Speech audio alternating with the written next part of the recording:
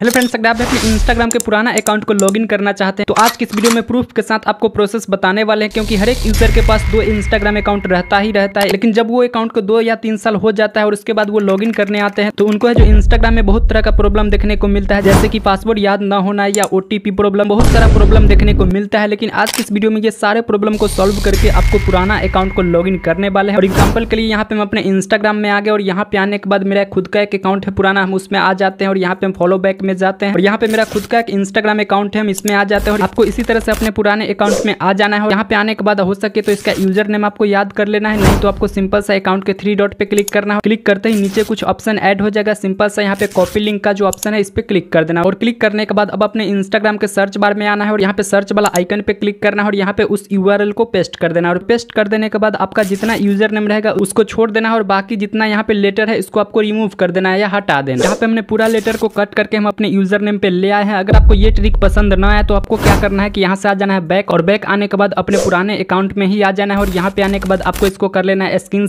और स्क्रीन करने के बाद आपको इंस्टाग्राम से बैक आ जाना बैक आ जाने के बाद अपने फ़ोन में आपको गूगल को ओपन करना है और यहाँ पे आपको इस आइकन पे क्लिक करना है। कैमरा वाला आइकन देखने को मिलेगा, इस पे क्लिक करना है और क्लिक करने के बाद आप जो भी स्क्रीन किए हैं उसको सिलेक्ट करना है और नीचे सर्च वाला आइकन मिलेगा, इस पे क्लिक कर देना है। क्लिक करते ही आपका जो भी टेक्स रहेगा वो यहाँ पे ऑटोमेटिक सेलेक्ट हो जाएगा। सिंपल सा अपना यूज़र नेम पे क्लिक करना है। क्लिक करने के बाद यहाँ पे कॉपी का ऑप्शन देखने को मिलेगा। इस पे क्लिक करके अपना यूज़र नेम को कॉपी कर लेना और इतना करने के बाद आपको यहाँ से बैक आ जाना है और बैक आने के बाद इंस्टाग्राम को ही ओपन करना है। ओपन करने के बाद जो भी आप अकाउंट लॉग किए हुए हैं, उसके प्रोफ़ाइल पे नीचे आपको टैप करके रखना है और जैसे आप टैप करके रखेंगे, नीचे कुछ इस तरह से आपको ऑप्शन मिलेगा। सिंपल सा एड इंस्टाग्राम अकाउंट का जो ऑप्शन है, इस पर क्लिक कर देना है। क्लिक करने के बाद यहाँ पे दो ऑप्शन आता है। सिंपल सा आपको ऊपर वाला ऑप्शन पे क्लिक कर देना है। क्लिक करने के बाद इस तरह से आप जितना भी पहले से अकाउंट लॉग किए हुए रहेंगे, वो यहाँ पे देखने को मिलेगा। तो यहाँ पे आपको सिंपल सा स्विच अकाउंट टाइप का जो ऑप्शन है, इस पर क्लिक कर देना है। क्लिक करने के बाद यहाँ पे दो ऑप्शन मिल सकता है, गेट हेल्प लॉगिन या आपके फ़ोन में फॉरगेट पासवर्ड का भी ऑप्शन मिल सकता है। सिंपल सा ये दोनों में से किसी ऑप्शन पे क्लिक कर देना है। क्लिक करने के बाद इस तरह से आपको ऑप्शन आ जाएगा, फाइंड योर अकाउंट और यहाँ पे नीचे ऑप्शन मिलेगा, user name, email, phone number. तो अगर आपके पुराना अकाउंट का यूज़र नेम याद नहीं है तो आप फ़ोन नंबर या ईमेल भी टाइप कर सकते हैं। तो यहाँ पे हमको यूज़र नेम याद है तो यूज़र नेम को हम फिल कर देते हैं फिल कर देने के बाद अब आपको नीचे नेक्स्ट का ऑप्शन मिलता है, इस पे आपको कर देना है क्लिक। क्लिक करने के बाद यहाँ पे कुछ प्रोसेस लगा और यहाँ पे ईमेल, फ़ोन नंबर और पासवर्ड का यहाँ पे ऑप्शन आ जाएगा। तो अब इस अकाउंट में जो भी आप ईमेल या फ़ोन नंबर दिए होंगे, उसको आपको याद करना है और यहाँ पे आपको सिलेक्ट करना है। तो एग्ज़ाम्पल के लिए हम ईमेल वाला ऑप्शन पे क्लिक करते हैं। क्लिक करने के बाद मेरा इस ईमेल पे एक लिंक गया होगा। जैसे यहाँ पे देख सकते हैं ईमेल का लास्ट वर्ड यहाँ पे आपको देखने को मिलेगा और पहला लेटर यहाँ पे देखने को मिलेगा। तो यहाँ पे हम ओके पे क्लिक करते हैं और क्लिक करने के बाद हम उस ईमेल पे आ जाते हैं। तो यहाँ पे हम अपने फ़ोन में जीमेल एप्लीकेशन को ओपन करते हैं और यहाँ पे हम प्रोफ़ाइल पे क्लिक करते हैं और यहाँ पे हम उस जीमेल अकाउंट में आ जाते हैं जो हम इंस्टाग्राम में दिए हुए हैं। और यहाँ पे आने के बाद देख सकते हैं कि ऊपर ईमेल भी आया हुआ है।